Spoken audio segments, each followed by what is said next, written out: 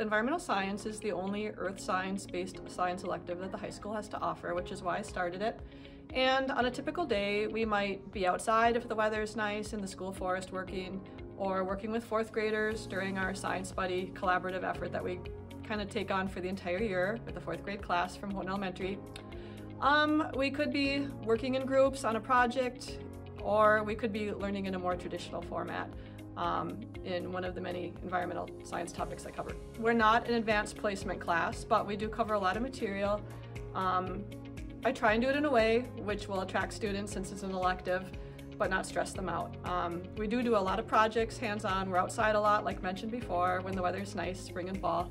And um, I'm big on working together in groups and mentoring others, so we try and work it all in. The department that environmental science is in is the science department. Um, it is not a required class, it's an elective.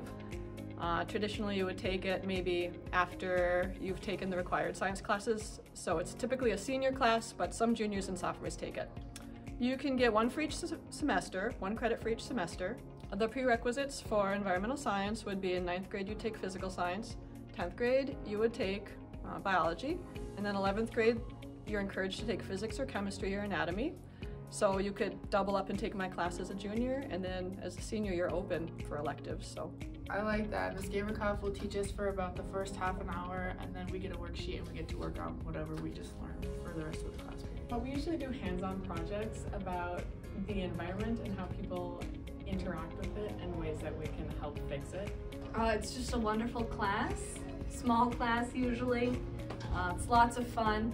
We go on lots of field trips. I took this class because I really enjoy science and I was looking for another elective to fill my schedule my senior year and everyone in past years told me it was really fun, especially working with kids.